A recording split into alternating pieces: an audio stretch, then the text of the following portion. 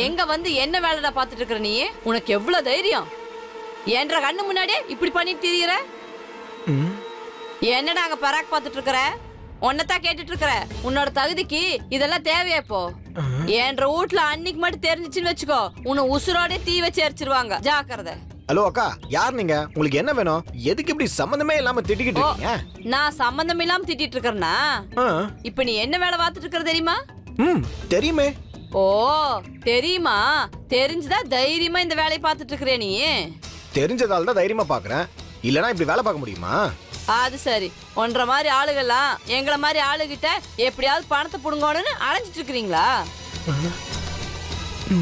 ஏன்றா முழிக்கிற? பண்ற வேலையும் பண்ணிட்டு பாக்குறத பாரு. இந்த வேலைய தைரியமா பாக்குறேன்னு என்கிட்டே சொல்றதுக்கு உனக்கு என்ன தைரியம்? இதுல என்னக்கா இருக்கு? நான் பாக்குற வேலையை உங்ககிட்ட மட்டும் இல்ல இந்த ஊர் முழுக்க சொல்லுவேன். நெஞ்சு நிமித்தி சொல்லுவேன். அப்படியே ஓங்கி அரைஞ்சன்னு வச்சுக்கோ. நெஞ்சலும் நொறுங்கி போயிடு சாக்கிறத. ஒருவேளை இவங்க பைத்தியமா இருப்பாங்களோ? அக்கா இப்போ உங்களுக்கு என்ன பிரச்சனை? என்ன பிரச்சனையா? நீ இப்ப பாத்துட்டு இருக்கிறீல்ல. அந்த வேலையை உடனே நிப்பாட்டு சரிக்கா நிறுத்திட்டேன். இங்க பாரு இப்ப மட்டும் இல்ல இனிமே உன்ற வாழ்க்கையில இந்த வேலையை பார்க்க கூடாது ஐயோ அக்கா இந்த வேலை நான் பார்க்கலன்னா எனக்கு எப்படி காசு கிடைக்கும்? நான் எப்படி வாழ்றது? ஓ அப்போ பணத்துக்காக தான் இந்த வேலையை இத்தனை நாள் பார்த்துட்டு இருந்தியா? ஆமாக்கா. எல்லாருக்குமே ஒரு தொழில் இருக்குல்ல.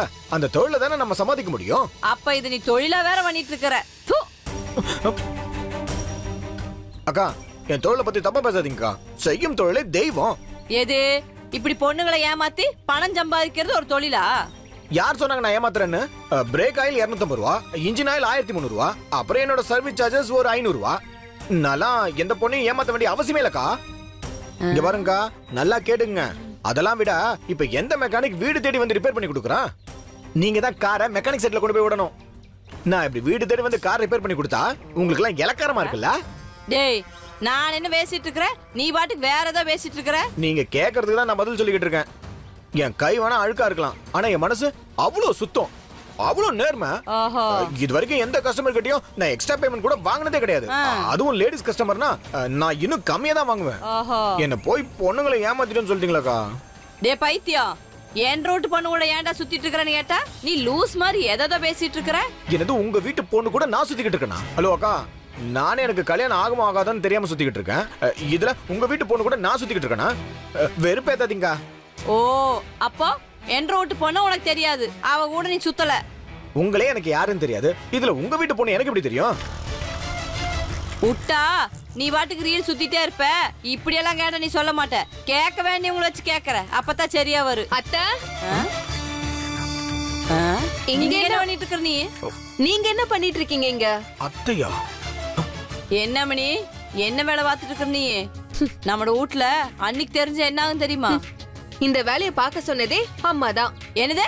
கண்டதால வளரிட்டு இருக்கிற அம்மாவா? ம், அர்ச்சனா ஆண்டியோட கார் ரிப்பேர் ஆயிடுச்சு. யாராவது மெக்கானிக் இருந்தா கூட்டிட்டு போனா அம்மா தான் சொன்னாங்க. அதனாலதான் நானும் இந்த மெக்கானிக்க கூட்டிட்டு வந்து வண்டியை ரிப்பேர் பார்க்க சொல்லிருக்கேன் ஓ நீ வண்டி மெத்தானிக்கா சரிதான்.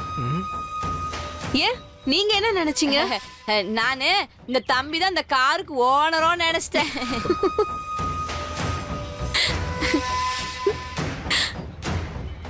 சரிங்க மெத்தானிக் தம்பி. நீங்க ஒன்றரை வேலையை பாருங்க. நானு என்ற வேலையை பாக்குறேன். வராம நீ சரி அத்தை. ஏ வெற்றி. நீ சொன்ன ஆயில் வாங்கிட்டு வந்திருக்கேன். கொடு. வெற்றி கொஞ்சம் சீக்கிரம் வேலையை முடிய. ட்ரெஸ் எடுக்க வேற போகணும். ட்ரெஸ்ஸா ஆ. அதான் ஏற்கனவே எடுத்து கொடுத்துட்டீங்கல்ல? உனக்கு இல்ல. எங்க அம்மாவுக்கும் அறிவுக்கும் ட்ரெஸ் எடுக்கணும். கொஞ்சம் சீக்கிரம் முடிடா. ம் ஓகே. ம்.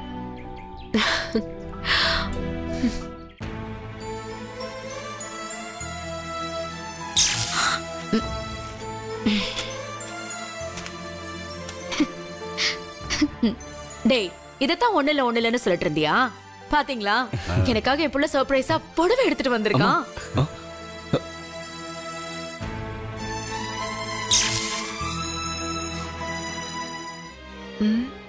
ஐயா இங்க தான் இருக்காரா?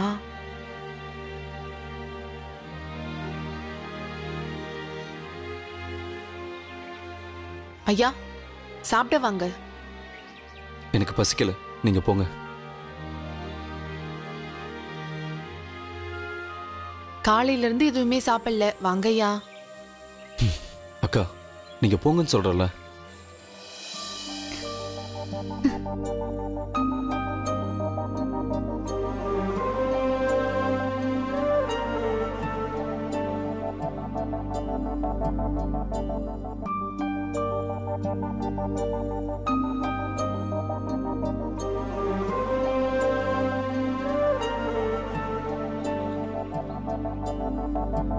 சூர்யா சார். சார் உங்களை தான் கூப்பிடுறேன்? என்கிட்ட பேச மாட்டீங்களா? ஓவியா ப்ளீஸ். எனக்கு கொஞ்சம் தனியா இருக்க விட.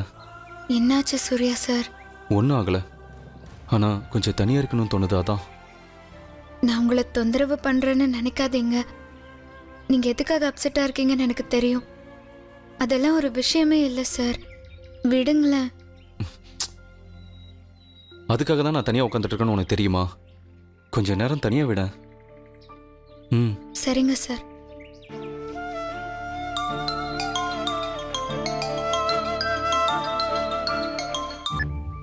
ஹலோ சொல்லு காயத்ரி. சூர்யா ஓவியா செல்லுக்கு ட்ரை பண்ண. அவளுக்கு லைனே கிடைக்கல. ஓவியா இருக்காளா? ஆ இங்கே தான் இருக்கா. கொடுங்க. பேசு. ஹலோ? ஹலோ? சொல்லு காயத்ரி. Hello madam. எங்க இருக்கீங்க? வீட்ல தான் என்ன விஷயம்னு சொல்லு காயத்ரி.